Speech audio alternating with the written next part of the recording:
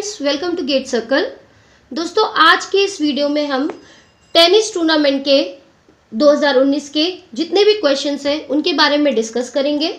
दोस्तों, ये सारे क्वेश्चंस बहुत ही इंपॉर्टेंट है। इसलिए इस वीडियो को अंत तक ज़रूर देखिएगा।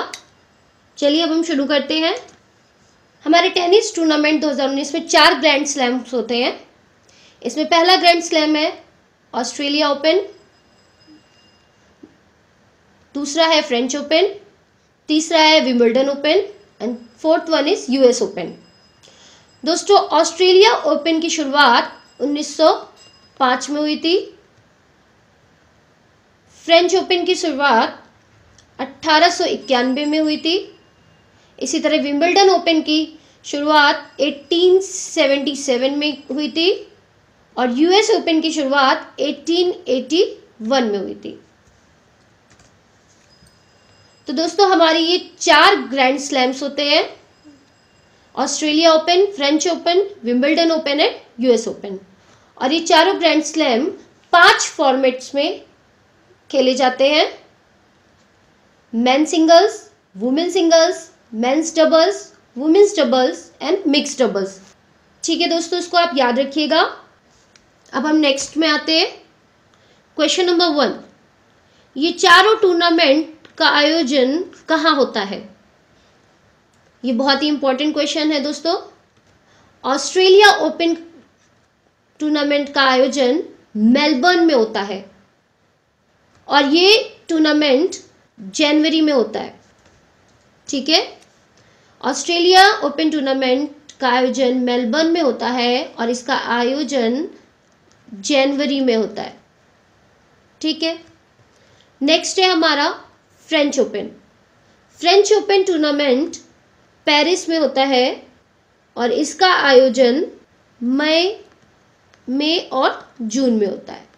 Next one is Wimbledon open Wimbledon open London में होता है और इसका आयोजन जून और जुलाई में होता है। Okay and the last one US Open US Open New York में होता है। न्यूयॉर्क में इसका आयोजन होता है और ये अगस्त और सितंबर में आयोजित किया जाता है। ठीक है?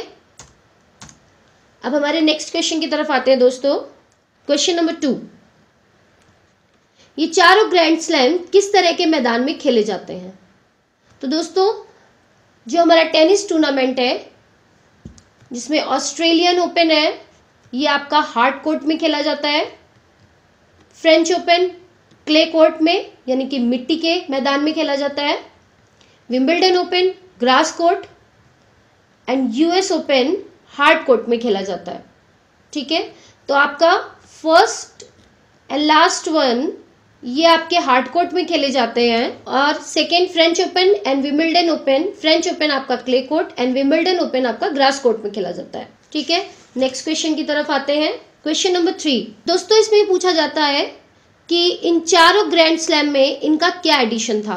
दैट्स वेरी इंपॉर्टेंट क्वेश्चन तो इन ऑस्ट्रेलिया ओपन का 107वीं एडिशन थी फ्रेंच ओपन की 123 एडिशन विम्बल्डन ओपन का 133 एडिशन एंड यूएस ओपन की 139 एडिशन ठीक है?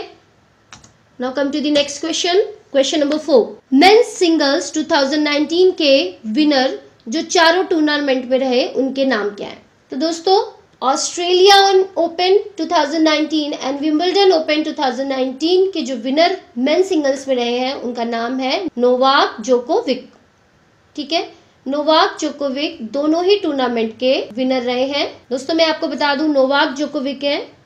ये सर्बिया के रहने वाले हैं। कहाँ के रहने वाले हैं? सर्बिया के। सर्बिया की कैपिटल जो है, वो है बेलग्रेड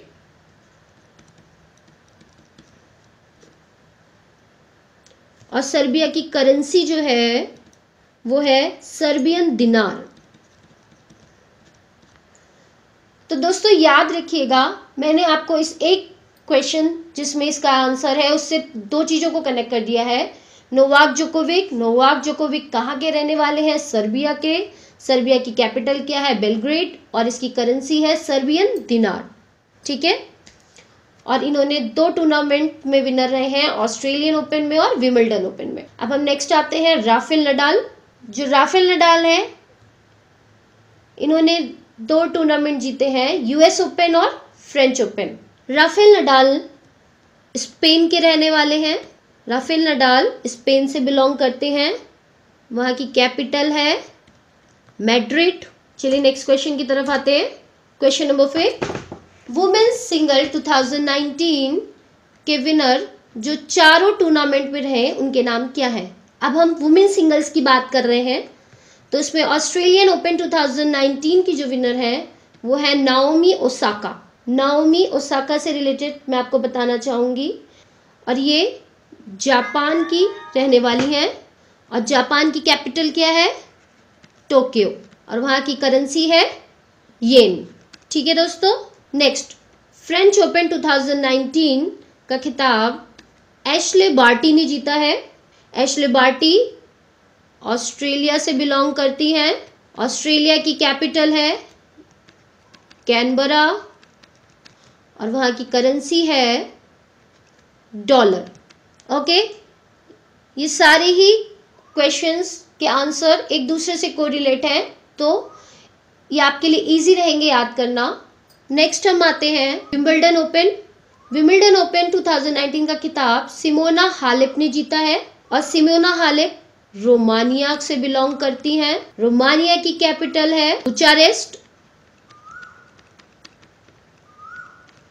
और वहाँ की करेंसी है Romania leu okay the next one US open US open 2019 का खिताब बियांका एंड्रिस्क्यू ने जीता है।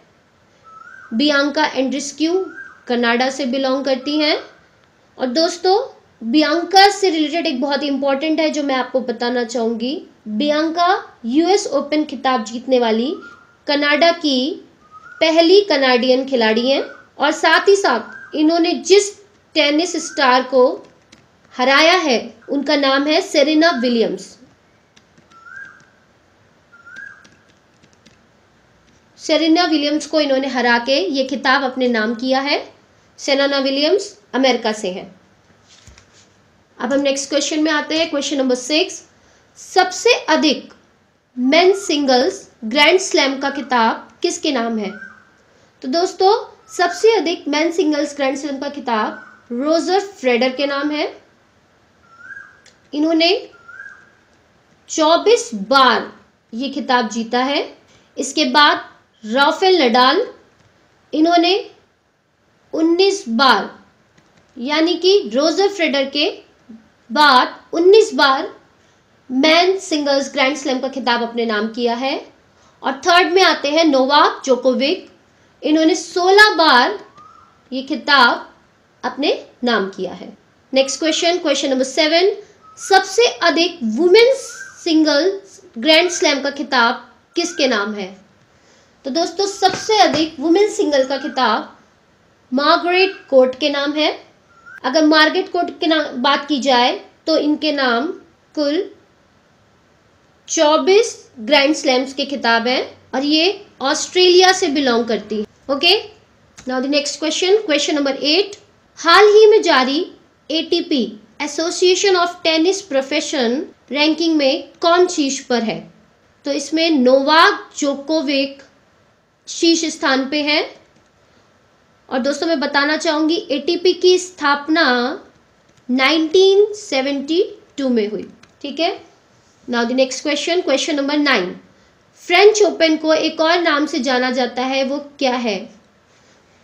तो दोस्तों फ्रेंच ओपन टूर्नामेंट को रोलैंड गैरोस टूर्नामेंट के नाम से भी जाना जाता है, क्योंकि रोलैंड ग्रास नाम का एक स्टेडियम है। और ये स्टेडियम फ्रांस में है, जहाँ पे ये टूर्नामेंट खेला जाता है। इसीलिए फ्रेंच ओपन को रोलैंड ग्रेरोस टूर्नामेंट के नाम से भी जाना जाता है। तो दोस्तों, आज के इस वीडियो में हमने टेनिस टूर्नामेंट 2019 से रिलेटेड सभी क्वेश्चंस को कवर किया है। अगर आपको मेरा वीडियो अच्छा लगा हो तो प्लीज़ इसको लाइक करिए और कमेंट सेक्शन पे अपने व्यू ज़रूर दीजिए। और हमारे चैनल गेट सर्कल को सब्सक्राइब कीजिए और आप हमारी वेबसाइट पर भी विज़िट कर सकते हैं Gate Circle dot in. Thank you